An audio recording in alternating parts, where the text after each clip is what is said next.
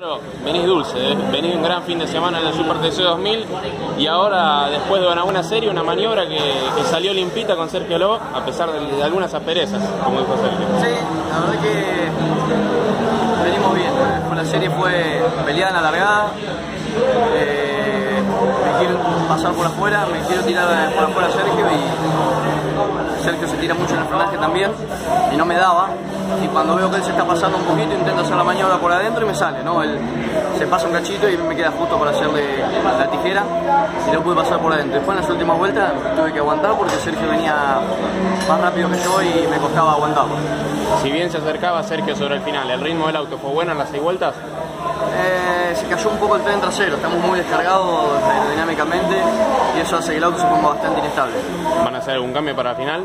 Sí, sí, yo creo que así va a ser difícil aguantar la final, a que cargar un poco atrás para que el auto vaya un poco más estable y que no sea tan difícil de manejar. Pasando a la carrera, largan en primera fila los dos compañeros del equipo, los dos necesitados, uno de la victoria, el otro de los puntos.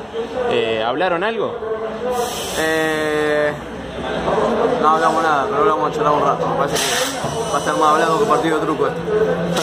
Va a ser, va, va a ser respetuoso igualmente. No, ni hablar, igual hay que ver qué pasa con Gini, que que hizo una serie muy buena, tiene auto rápido y,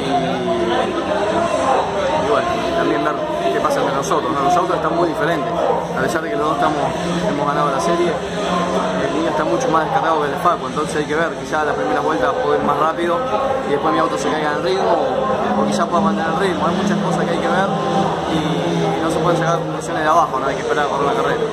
Bueno, Emi, muchas gracias por pasar por Mundo Sport y suelta para la final. Bueno, gracias a ustedes.